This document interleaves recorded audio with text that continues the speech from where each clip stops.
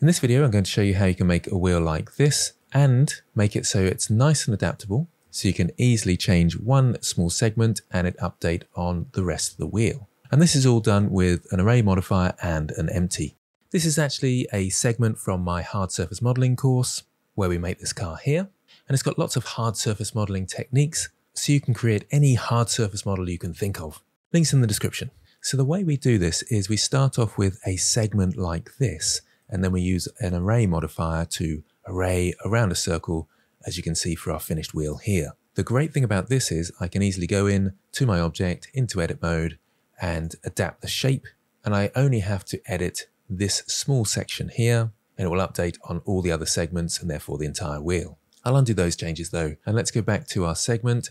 You can see what it looks like. It's not particularly detailed, and I'll go into edit mode. You can see I've got a subdivision surface modifier on here, and I've sharpened some edges up. The design of this isn't what I'm going to focus on in this lecture, but I will give you a few tips about how to create a segment like this. So I'll jump back into object mode and hide these objects and start fresh. Now it's a good idea to start in the center of your scene. So Shift S, cursor to world origin. You don't have to, it's just slightly helpful. So Shift A to add, mesh, and I started with a circle. Now the vertices is all important because obviously you need to divide your circle up into segments. I chose 30 so I can have 10 segments. Then I pressed R, X90 to rotate it around, went to front view and I can start thinking about my segment up the top here. So into edit mode, into edge mode with two and select those top three. Control I to select the inverse and delete the rest of it.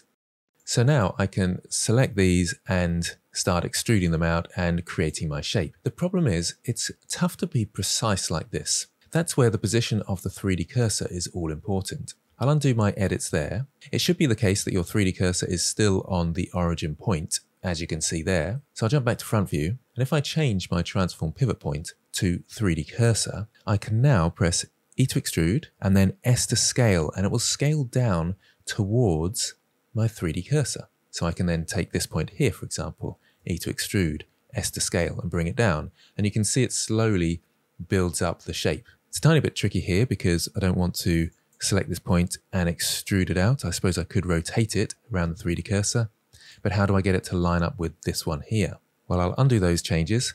For this, you can select these ones here, Shift D to duplicate, S to scale and bring them down, and then I can just fill the face in here. So select those two edges, F to fill, and then I can go back to these edges here, E to extrude, S to scale, and zero to bring them into a point. And then I can turn this into some sort of interesting segment. One other slight tip, it's a good idea to select all, E to extrude, and I'll use the Y axis, come out slightly, and then again to face mode, extrude these out. Have an actual extrusion that's the whole thing first before you extrude one segment. And I can do some loop cuts in here with Control R, and then I can rotate these around the Y axis.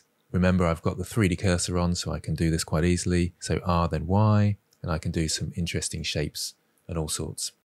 When you do this, you will have to delete the inside faces. This will be an inside face because it will attach to the other segment here and these ones just here. So I need to delete those and on the other side as well and up the top here. And of course we can add our subdivision surface modifier. So modifiers here, I can actually go into object mode and press control two to bring up the subdivision surface modifier of two iterations there. You might need a bit of adjustment. It looks like there's some pinching here. That suggests I've got some normals facing the wrong way. If you do have that, then go up to your overlays, turn on face direction, you can see there's some problems there.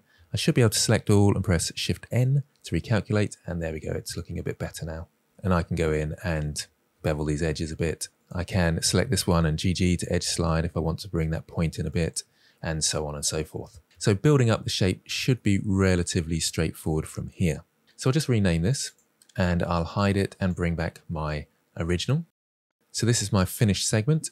You do have to be a little bit careful with the very end point, especially with subdivision surfaces. The endpoints where you have triangles can be a little bit problematic. You might need to have an extra edge loop that comes across here. I managed to adapt mine and it turned out okay in the end, but just be aware of that. Okay, so how do we do the array? Well, firstly, I'll jump into object mode and I'll add in an array so you can see what it looks like. So add modifier, type in array, and you can see it creates a new object just here.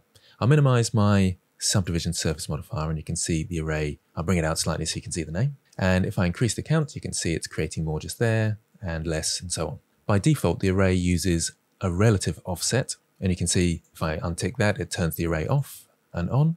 And it's in the x-axis at the moment. So it's going across one unit. If I go to front view, you can see it lines up with that point there.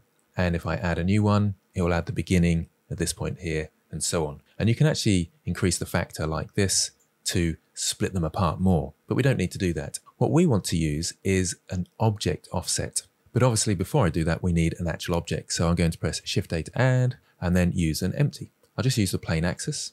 So you can see that empty just in the middle there. And again, it does need to be right in the center. Your 3D cursor should be right where your object origin is, assuming that you haven't moved it. So your empty should appear in the same place as the object origin for your segment of your wheel. If it doesn't for any reason, you can select on the wheel, Shift S, and then cursor to selected, and you'll see the cursor would move to the object origin, and therefore when I add my empty, it will add in the correct place. Okay, so we've got an object now, so I'll click on my segment, and instead of relative offset in the array modifier, I'll change it to object offset. I'll open up that dialog, Remember I've turned off the relative offset. Don't keep that enabled because you can use both. So I'll turn that off and under the object offset, I'll use my picker and choose the empty. Nothing happens because we've done nothing to our object in order for the array to have any effect. I'll go to front view and I'll press R to rotate and you can see it's creating those three segments and curving them round in a wheel as I rotate my empty. Let's click on the object again and increase the count to 10. So it should go all the way around at that point. And we're not quite there, so I've just got to figure out the angle for this. If I select the empty, press N on my keyboard, go to item, I can probably figure it out. Looks like it's going to be 36 degrees. And that does make sense. 360 divided by 10 is 36. What you might find, although it's not apparent in this case, you might see a little bit of a join where they meet up. So if we select on our wheel again, under the array modifier, you might need to tick the merge option just there to make sure that it merges these together. If I turn that off and go to wireframe, you should be able to see the connections. If I turn on the merge, you can see they disappear. There is still one at the very ends here. If I open up the merge, you can see the first and last copies. If I tick that, we should see that disappear as well. And now we have our finished wheel just there. So as a quick reminder, we create a section out of a circle. Make sure that your object origins are in the center here. We add an array modifier. The count is all important, and that's how many segments you have in your circle. We turn the relative offset off. If I turn that back on, you can see it tries to go along the x-axis as well, and you can see it's going along the x-axis and then the local x there and so on, which can create some interesting effects to be fair, but we'll turn that off and then we use the object offset. We use our empty that's in the center there. We rotate the empty round, the amount of degrees required for the amount of segments, and then we remember to use the merge option here and first and last copies so we have a nice finished wheel. Now, one last thing that's quite important is if you want to move this object, if I press G to grab to move it, because I'm not moving my empty, it all goes a little bit weird. So do make sure that you select both G to grab to move it around into position. You can always select the wheel and parent it to the empty. So select the empty last and control P and set parent to object. And then all I have to do is move the empty and that will move both of them. And there we have it. Hopefully this is helpful to you. If you like this sort of thing, then do check out the hard surface modeling course, link in the description. If you've got any questions, then do comment below. Thanks for watching and I'll see you next time.